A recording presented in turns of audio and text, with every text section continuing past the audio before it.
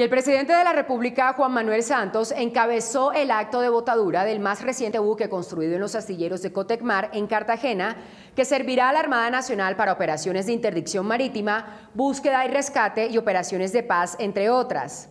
Inicialmente llamado ARC Santander, el jefe de Estado propuso cambiar el nombre del patrullero oceánico a ARC Victoria. Momentos antes de la ceremonia de votadura del Duque, acompañado por los altos mandos militares, el primer mandatario destacó que el día de ascensos de la Armada coincide con el primer día después de haber refrendado los acuerdos con las FARC en el Congreso de la República.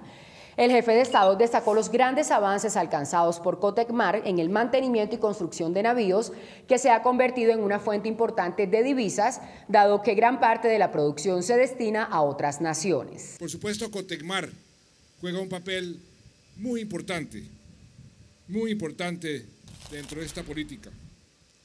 Cotecmar ha acumulado experiencias que han permitido dinamizar el sector y no me cabe la menor duda que es punta de lanza de la actividad astillera del país.